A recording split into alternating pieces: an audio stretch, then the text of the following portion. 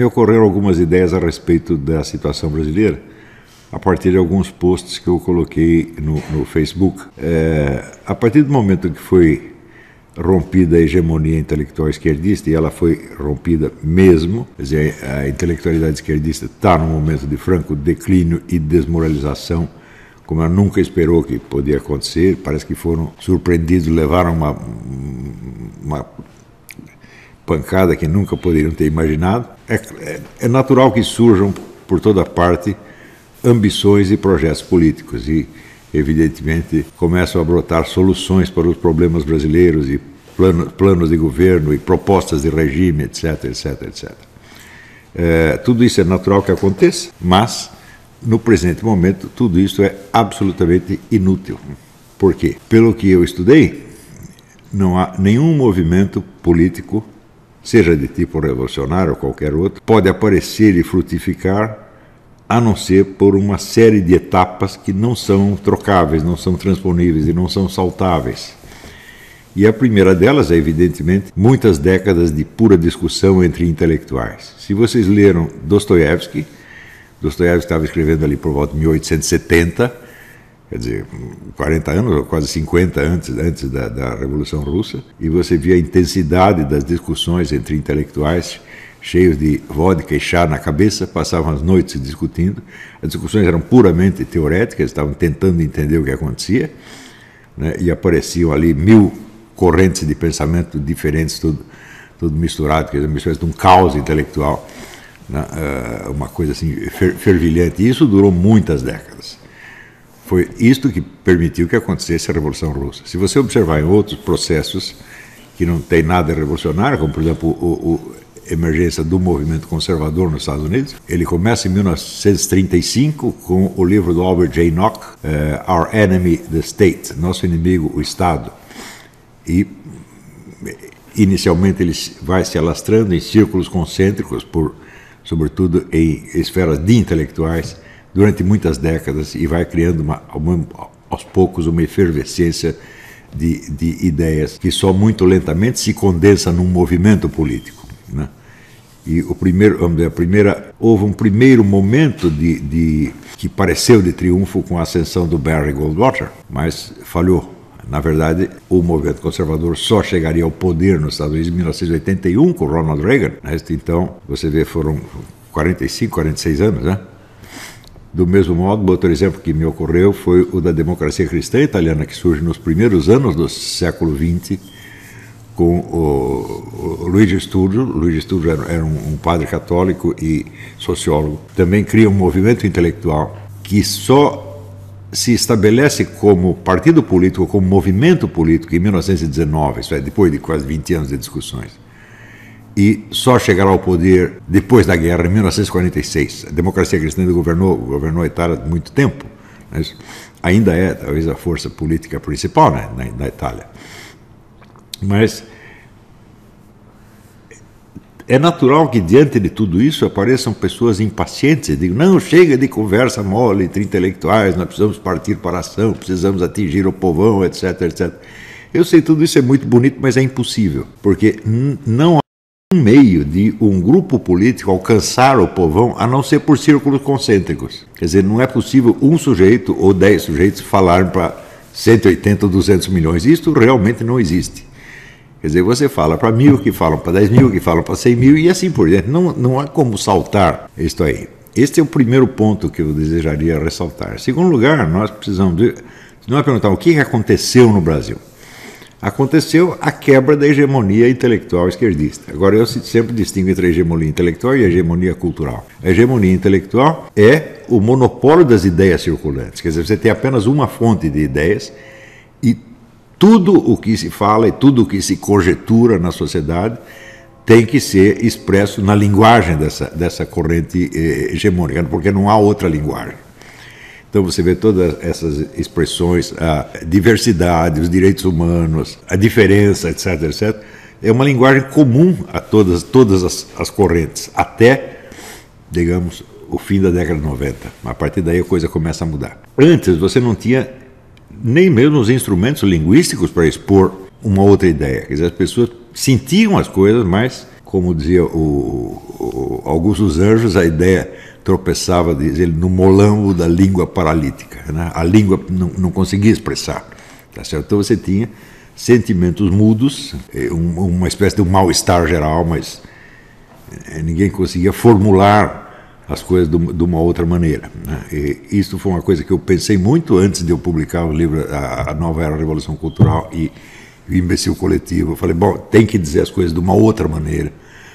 É preciso um novo estilo literário que eu fui tentando e aperfeiçoando até chegar nisso. A hora que eu encontrei a coisa, então é como se eu tivesse assim, eu dei o instrumento linguístico para todo mundo, quer dizer, abri uma nova possibilidade linguística e todo mundo começou a descobrir coisas. Eu recebi milhares de cartas, de mensagens dizendo: Puxa, você está dizendo exatamente o que eu queria dizer. Eu falo, bom, os escritores existem para isso. O escritor não vai pensar tudo só da própria cabeça, ele vai tentar pegar, vamos dizer, uma atmosfera cultural geral tá certo? e dar voz a, essa, a, a, esse estado de coisas. Os escritores existem precisamente para isso. Né? Vamos dizer, Mallarmé é dar um sentido mais puro às à, à língua da tribo a língua da tribo conseguir dizer o que quer. É a partir deste momento, criaram-se, evidentemente, bilhões de possibilidades. Porém, essas possibilidades ainda existem apenas na mente do, daqueles que as concebem. Objetivamente, qual é o estado da sociedade atual? O estado é o seguinte: a hegemonia intelectual foi quebrada, mas a esquerda ainda tem a hegemonia cultural, quer dizer, ela tem o aparato, ela tem uh, os cargos, ela tem o domínio dos órgãos de cultura, o domínio do sistema educacional, etc, etc. Evidentemente, a esta altura, ela tenta manter este domínio não pelas vias normais da, da, disputa cultural, mas por via administrativa, burocrática, através da gritaria, da intimidação, etc, etc. O que mostra a sua total impotência de resgatar a sua hegemonia intelectual. Essa foi perdida, eu creio que para sempre.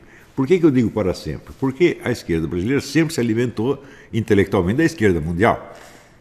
Se você vê assim, os anos 60, por exemplo, a riqueza de ideias na esquerda mundial era uma coisa assombrosa. Você tinha a escola de Franco, você tinha Michel Foucault, você tinha o Habermas, você tinha, tinha o Jean-Paul Sartre ainda em plena atividade. Tinha toda, vamos dizer, um, um aporte extraordinariamente poderoso da nova esquerda americana a qual naquele tempo pertencia o David Horowitz, não pode esquecer que o negócio dos Black Panthers, etc., tudo isso alimentava e energetizava a, a esquerda brasileira. Em seguida veio dizer, o movimento da nova era, né, isso, com o negócio das drogas, do sexo, do sex lib, etc., etc., que também teve uma influência monstruosa e da qual exemplo, a, a, nossa famosa tropicária não é senão um subproduto remotíssimo disso, disso aí. Né? Quer dizer, o efeito de um movimento cultural internacional num país remoto do terceiro mundo. Na verdade, pensando bem, um acontecimento que não tem importância nenhuma né, na escala mundial, mas que na escala local foi considerado é, relativamente importante. É a época também que surge, vamos dizer, os famosos festivais de música da, da Globo também não eram nada mais do que um eco distante dizer, do, do pensamento da nova esquerda americana. E acontece que a esquerda internacional intelectualmente pifou, não tem mais nada. Se você pensar assim, quem na esquerda ainda merece ser ouvido? Eu vejo duas pessoas. Eu vejo o David Harvey, que é um, um autor enormemente técnico, ele é um geógrafo de, de formação, é um grande estudioso de, de, de, Karl Marx e escreve sobre as perspectivas econômicas do marxismo numa linguagem muito difícil de, das pessoas terem acesso.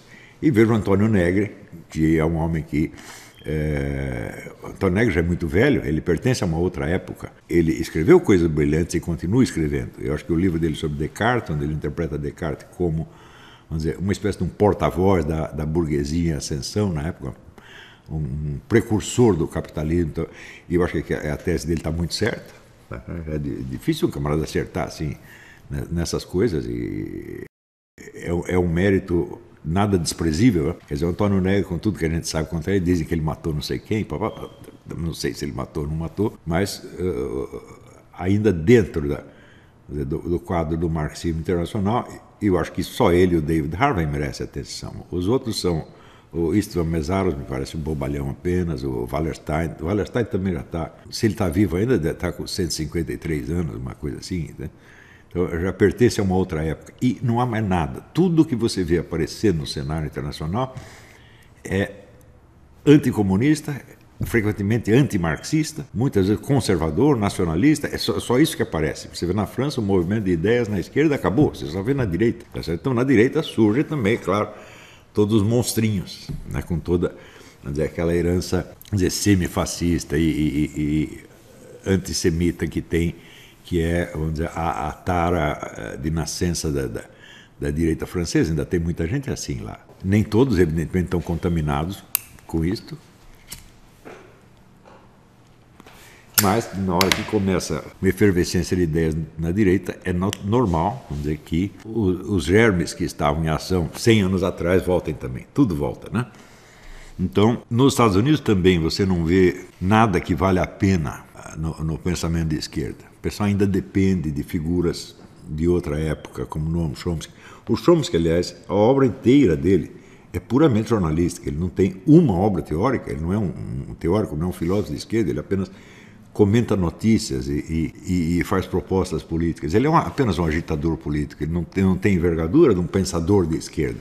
Né? Ele foi um pensador importante na área linguística, isso ninguém, ninguém, ninguém nega, mas isso não tem absolutamente nada a ver com a atuação política dele. É como se fosse é, duas vidas. Ele encerrou uma etapa, começou outra completamente diferente. Tudo que o Chomsky diz, né, os pessoal acompanham o Chomsky até no banheiro, tudo que ele diz lá, eles gravam e e, tudo isso vira livro. Quer dizer, o homem publica um livro por mês. Com uma, tem uma vasta equipe para fazer isso aí, para documentar o que ele diz.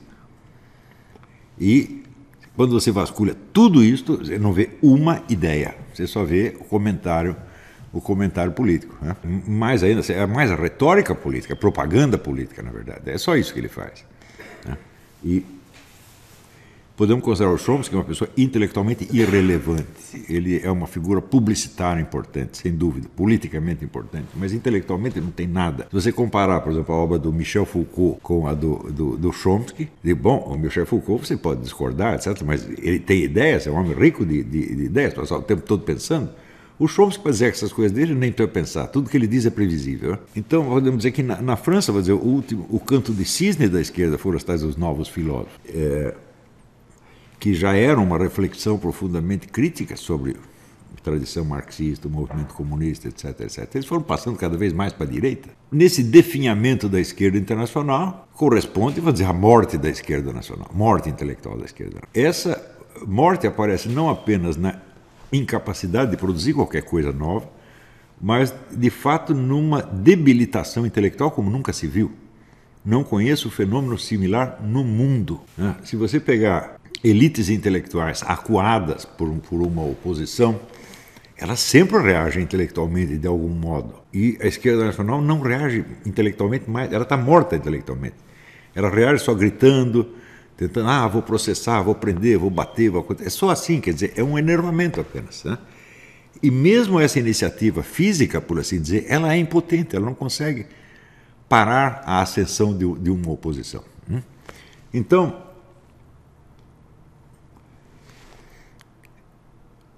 A etapa que nós estamos vivendo agora é a de retirar do esquema cultural os últimos resíduos da autoridade esquerdista. Resíduos que são apenas resíduos materiais. São cargos que eles ocupam, é o poder da caneta, tá certo? é o poder dos decretos, das, das nomeações e demissões, é só isso que eles podem fazer. Isto vai demorar para retirá-las. Né? Enquanto nós não terminarmos isso, qualquer iniciativa política é tempo perdido. Não que elas não devam ser feitas, elas devem ser, devem ser feitas só para não, não, como é que se diz, não, não dizer que não fez, né? para marcar posição. Né? Então, é claro, vai aparecer movimento, por exemplo, aparece um movimento monarquista, aparece o sujeito com proposta militarista, retorno ao, ao regime militar, aparece outros com propostas de constituição, não é isso? Tudo isso, bom, é natural que aconteça, mas não vai adiantar absolutamente nada porque a esquerda ainda tem o controle do aparato burocrático da vida cultural. Portanto, eles ainda têm, até certo ponto, o controle da opinião pública. Hum? Por mais desmoralizado que ela esteja, eles têm os meios, têm o alto-falante, por assim dizer, na mão. Alto-falante, sobretudo, Rede Globo, Folha de São Paulo, etc, etc. E as universidades. Eles ainda têm isso na mão. É assim, eles enfraqueceram por dentro, mas ainda tem uma carapaça por fora. E essa carapaça, para ser rompida, vai levar mais de uma década. Quer dizer, eles não serão removidos dos seus postos do dia para a noite.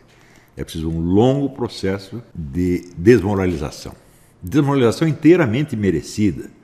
Né? Então, é, eu seria o último a tentar desmoralizar dizer, o intelectual de esquerda que merecesse algum respeito.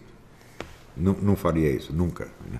Por exemplo, eu não poderia tentar desmoralizar um Álvaro Lins, por exemplo. Não, não, não vejo como fazer isso aí. Né? Se ele tivesse, por exemplo, ocupasse uma reitoria, então, por mais esquerdista que ele fosse, eu digo, bom, ele não merece ser retirado de lá só por ter uma ideia diferente. Isso não. Né? Mas acontece que a ascensão da esquerda foi a destruição da alta cultura no Brasil. Essa destruição, se pode observar, por exemplo, eu notava, recebia muitos alunos, por exemplo, eu vou citar o pior exemplo, faculdade de psicologia. Os alunos chegaram, claro que é, alunos de psicologia têm dizer, o interesse primordial naquilo que eu estou dizendo. Né? Então, eram muitos que chegavam e eles não sabiam nada, nada, nada, nada. Eles tinham estudado psicanálise e behaviorismo e olhe lá. Não sabiam mais nada, nada, nada, nada. Quer dizer, eu citava a bibliografia inteira da psicologia do século XX, que é, vamos dizer, uma ciência que progrediu enormemente no século XX, fez descobertas absolutamente espetaculares, e as pessoas não sabiam nada. Eles não sabiam nem de Wilhelm Reich. É? Então, eu fiquei sabendo do Wilhelm Reich através do meu falecido amigo, Dr. Ronald Fred César Müller, que aproveitou muitas coisas do Wilhelm Reich, no, tratamento dele, e que ele comprou uma caixa de Reich, né? aquela acumulador de orgônio. Eu estive dentro dessa caixa, fazia uma cosquinha apenas, né? mas segundo o Reich, aquilo era uma energia cósmica, etc, etc. Isso aí, tomei conhecimento disso, foi na década de 70. Eu li todos os livros do Reich que eu tinha acesso. E na época havia um estudioso de Wilhelm Reich, que era o Zé Ângelo Gaersa era um psicólogo, um psiquiatra do qual se falava muito mal, porque dizia que ele abusava sexualmente das clientes, mas eu não sei. De mim ele não abusou sexualmente, isso eu posso garantir. Tá e sempre pareceu um homem muito talentoso e muito engraçado, muito, é, alguém que merecia atenção até, até certo ponto. E mas tira, tirando o Zé Ângelo Gaiarsa, e por incrível que pareça, um discípulo do Mário Ferreira dos Santos, que chamava Tomás de Aquino Ferreira, eu acho, que era um estudioso de Wilhelm Reich e via, via tentando articular as ideias do Mário com as do Wilhelm Reich, essas as únicas pessoas que entendiam do assunto. Eu falava, mas como? Com todo esse bando de esquerdista, bando de comunista na rua, tá certo? Tanto, tanto comunista nas faculdades de psicologia, ninguém conhece, ninguém conhece nem sequer Wilhelm Reich. Né? Agora, se eu falasse, sei lá, do Victor Frank, do, do Liputzondi, do, do, do Maurice Pradine, mas não sei quantos, ninguém sabia absolutamente nada. Havia alguns junguianos, é verdade, é, junguianos de, de, de estrita observância que conheciam, na verdade, pouco. O Tormira conhecia mais Jung do que todos eles juntos, e ele não era um junguiano estrito. E ele, ele dizia uma coisa extraordinária: ele falou, ele, não existe nenhuma psicologia de Jung. A obra inteira de Jung é um livro de memórias. São observações clínicas que ele foi fazendo ao longo da vida. E isso é a coisa mais certa. Não há nenhuma teoria do Jung, existe apenas a experiência do Jung. E se você lê por este lado, a coisa de uma riqueza espetacular. Se você não espera nenhuma coerência eh, teorética do Jung, é uma riqueza grande. Se você se apega à, à aparência de teoria tá e leva aquilo muito a sério, você está no, no caminho errado. Havia alguns junguianos na praça, mas todos eles muito velhos. Tá certo? E geralmente eram é, psicoterapeutas de, de, profissão e não, não professores universitários, então tinha influência cultural mínima. Houve alguma influência de Jung no círculo do Vicente Ferreira da Silva. Ele e a mulher estudaram muito Jung. Né? Uh, um minutinho.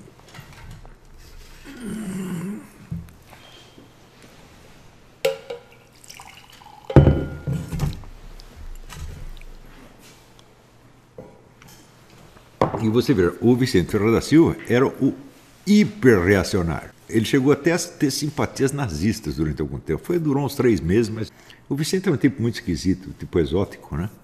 Tudo quanto era ideia esquisita o, o atraía. Então, até hoje não sabemos o que viria a ser a filosofia do, do Vicente Ferreira da Silva, porque ele morreu muito novo num desastre automóvel e ele passou por várias etapas, né? É, desenvolvimento, não, não chegou a estabilizar nada, deixa algumas ideias soltas, algumas muito valiosas, é, mas na revista dele, que se chamava Diálogo, havia uma certa influência junguiana através do Thelmo Spanudis, do Solon Spanudes, do qual eu fui paciente durante dois meses. Eu fiz umas oito psicoterapias assim, tipo, para saber como é que era. Passava dois meses num, três meses no outro, e conheci várias, né? E um delas foi com o, o Solon Spanudes, que era um homem de formação junguiana, mas já estava interessado em outras terapia heideggeriana, outra coisa. Ah, se havia uma certa variedade de ideias no meio psicoterapêutico, nada disso chegava na universidade. Então, os alunos saíam da faculdade de psicologia ignorando tudo da psicologia do século XX. E eu comecei a perceber que isso era um negócio catastrófico. Falou, isso nunca aconteceu na história do mundo. Se você estuda a história de países que passaram por traumas que o Brasil nunca conheceu, guerras, revoluções, etc., né? é, você vê que nunca a vida intelectual acabou. Se você pegar a Alemanha nazista, claro, a maior parte da, da, da literatura alemã nesse período foi feita no exílio, a Alemanha austríaca. Mas, mesmo jeito que continuou lá dentro, por exemplo, Gerhard Hauptmann, o dramaturgo, continuou lá dentro, escondido e produzindo. Né? É, é coisa de, de, altíssimo nível. Se você pegar, sei lá, toda a obra de Thomas Mann, escrita em grande parte no exílio, é uma coisa absolutamente indispensável. Você não vai dizer que a situação deles era muito confortável. É? É, que eles tinham uma condição melhor do que os brasileiros. Não, não, não tinham. Do mesmo modo, na Rússia, se você pegar toda a, a literatura subterrânea da Rússia, né? Solzhenitsyn, Vladimir Bukovsky, to, todos eles, é uma coisa de uma riqueza extraordinária. Parece que quanto pior ficava a situação, mais a criatividade deles se, tornava, se fortalecia, se tornava intensa. E no Brasil aconteceu o contrário. Pifou tudo, tudo, tudo, tudo, tudo. Foi aí que eu comecei a levar a sério né, o meu nome, escolhido pela minha avó, Alma Elisa Schneider, foi profética que me chamou de Olavo, quer dizer, sobrevivente. Falei, chegou uma hora e falei, pô, morreu todo mundo, sobrou eu. Então eu tenho que fazer, ter obrigação de fazer a ponte entre o Brasil que não existe mais e um Brasil que pode, pode existir amanhã. Tudo que eu fiz foi com base nisto.